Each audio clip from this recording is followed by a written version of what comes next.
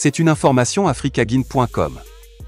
Après les violences de la semaine dernière, plusieurs jeunes leaders de l'accent d'Alais, Bambeto, Cosa sont sur la sellette. Considérés comme meneurs des troubles enregistrés sur l'autoroute, Le Prince, pendant les manifestations, ces jeunes sont dans le collimateur de la justice.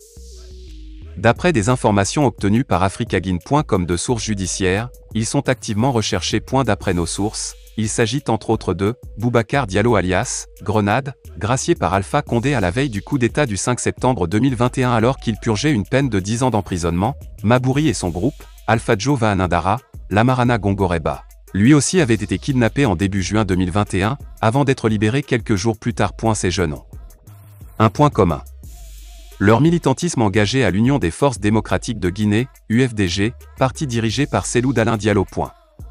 Ce sont eux qui distribuant de l'argent aux jeunes drogués dans les quartiers et qui incitent les enfants à envahir les rues, confie une source généralement bien informée.